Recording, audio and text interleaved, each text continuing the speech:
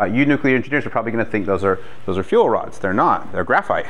Uh, the fuel was liquid that flowed through channels in this graphite. So uh, the graphite served as the function that water serves in an existing solid fueled reactor, which is, is to, is to moderate the neutrons that are being born in fission. Except this time, instead of having solid fuel and a liquid moderator, you've got liquid fuel and a solid moderator.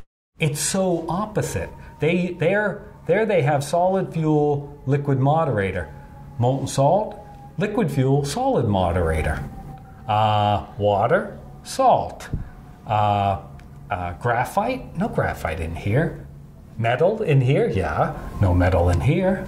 It's like an opposite reactor.